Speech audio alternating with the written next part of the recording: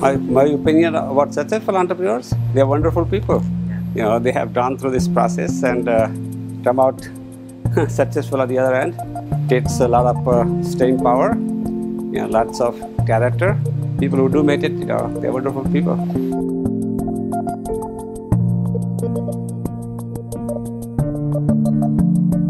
So when I started as an entrepreneur in the Valley, you know, the Indian Americans were not established players. They were established as engineers, you know, as programmers, you know, techies.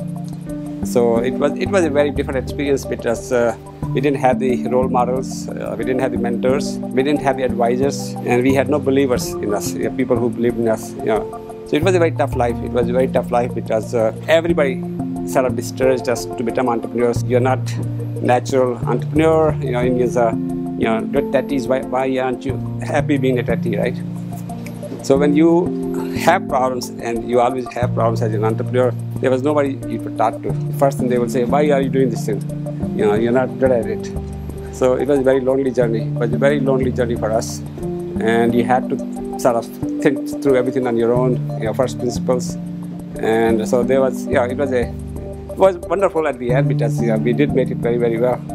But it was a very tough journey yeah, entrepreneurs today, you know, especially Indian American entrepreneurs today, you know, so they have the networks, you know, they have the you know, support you know, systems. You know, everybody thinks Indians are good entrepreneurs now, and uh, so it's a different different world.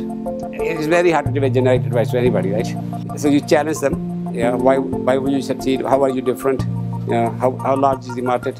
Ten to one is the old rule, 10x. You know, know, to be able to dislodge a established player so, so my, my answer, yeah, my question is always, yeah, why is this market ready right now? Is it large enough to sustain more than one player? You know, yeah, what's your differentiation? Yeah, what, what are your insights? I think it was March or April of '94. It was the first attempt. You know, we thought maybe 100 people will show up. You know, we had a you know, idea that you know we can inspire people, you know, show them some you know, basic rules how to write a business plan, how you know, how to you know, assemble a team. You know, a handful of sessions. 500 people signed up and you know, and, and we knew, oh my God, you know, we have to do something now because we had to you know, up our game. You know, about a month before the you know, before the entire conference, we were really panicking because you know, 500 people, we didn't want to disappoint them. But now I think the, uh, we have the formula. You know, we have you know, enough people have been through you know the cycle many times, and there's a new idea, a new team every year. I think 4,000, 5,000 people this year.